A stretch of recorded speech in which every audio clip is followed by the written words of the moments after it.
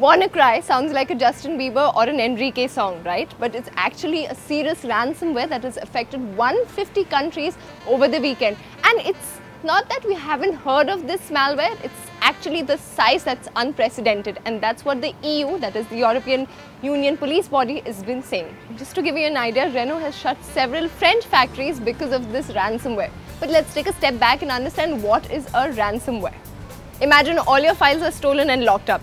Now the culprits have the key and you will only get the key if you pay up in bitcoins, that is digital currency. The current ransom is 300 US dollars which is approximately 19,000 rupees and if you don't pay up in 3 days they will ask you for 600 US dollars that is 38,000 rupees.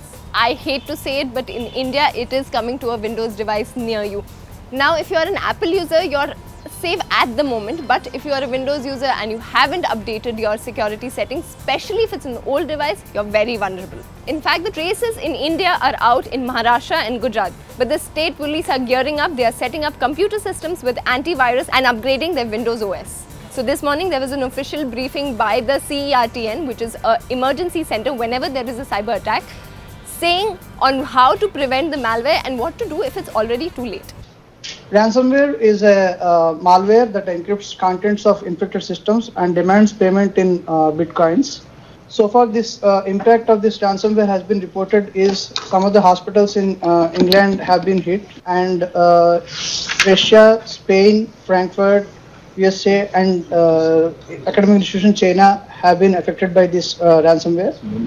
So what do you do when you need to prevent it? First, don't don't click on any link that you find suspicious, even if you know the sender.